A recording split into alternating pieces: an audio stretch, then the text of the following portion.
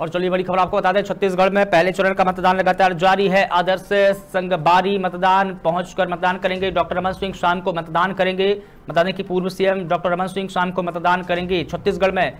और सुकमा में बीजेपी प्रत्याशी सोयम मुक्का ने भी वोटिंग की है।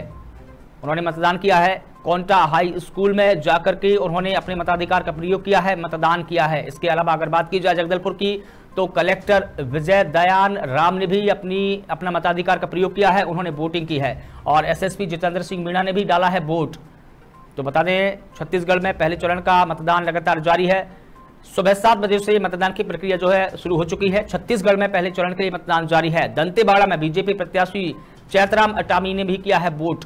उन्होंने वोटिंग की है। और इसके अलावा बात की जाए कवर्धा की तो पूर्व सांसद अभिषेक सिंह ने भी मतदान किया है। और मतदान करने की प्रक्रिया जो है लगातार जारी है। आदर्श और मतदान केंद्र पहुंचकर उन्होंने वोटिंग की है। डॉक्टर रमन सिंह शाम को मतदान करेंगे।